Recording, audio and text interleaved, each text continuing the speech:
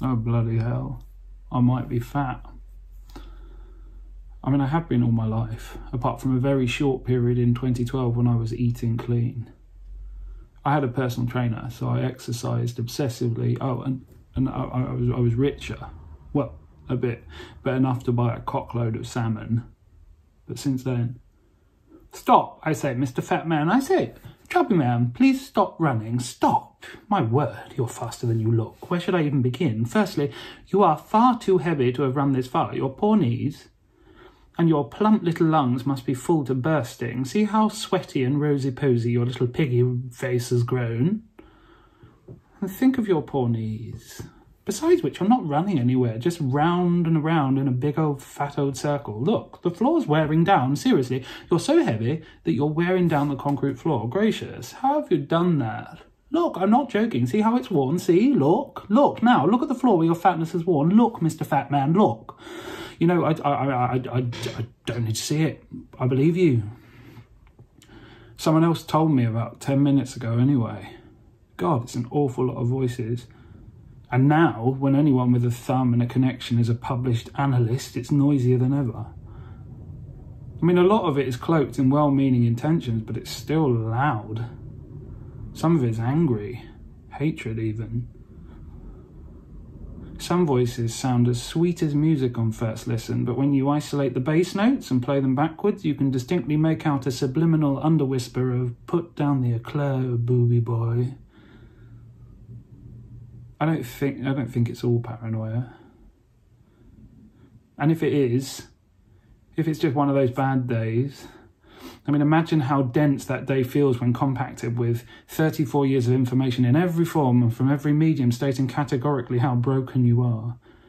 How bodily girth is the fruit of idleness, calories in versus calories out. Simple as breathing. Breathe in, breathe out, in, out, in, out. Shake it all about, and that's your exercise sorted. Simple.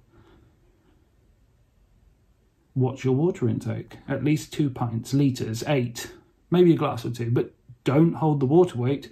That's wheat, that is. Maybe you're intolerant. Cut it out. Do without it. You can, you can do it. You don't need it. Just think ting.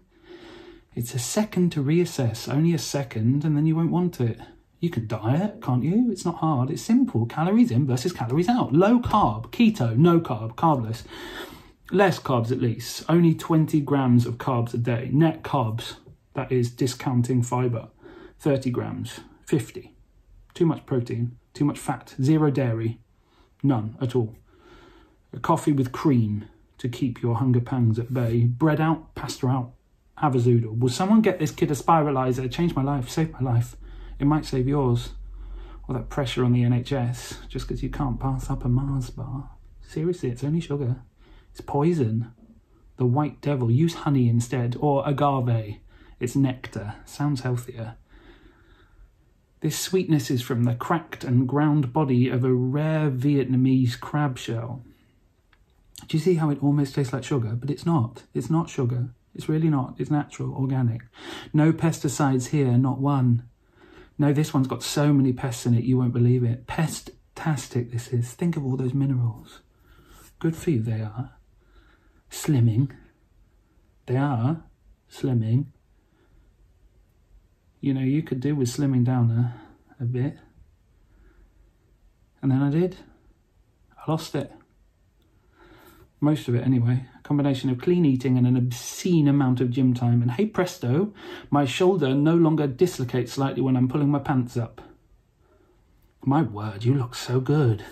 So much healthier, so much better, which is, which is good. Look at your face. God, you're so handsome. How did you do it? Tell me.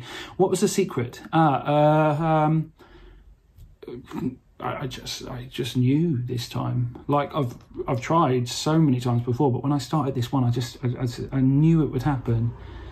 And honestly, it felt amazing. Where have you gone? Where have you gone? I mean, where did you put it? Where have you gone? Um, I'm still here, just. It's weird. It's different. It's just different. I, I mean, don't get me wrong. You look amazing, but it's just it's it's weird. Uh, maybe it's just me. It probably is. I'll get over it.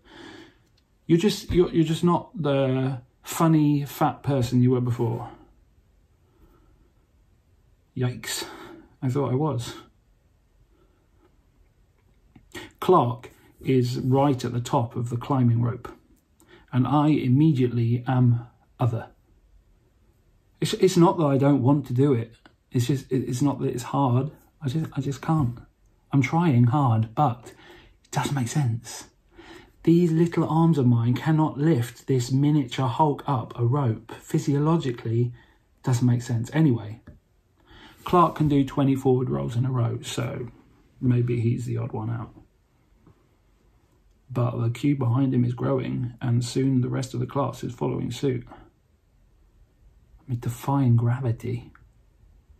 Jump in the pool, I'll show you who's athletic. I can swim circles round all of you. Buoyant, innit?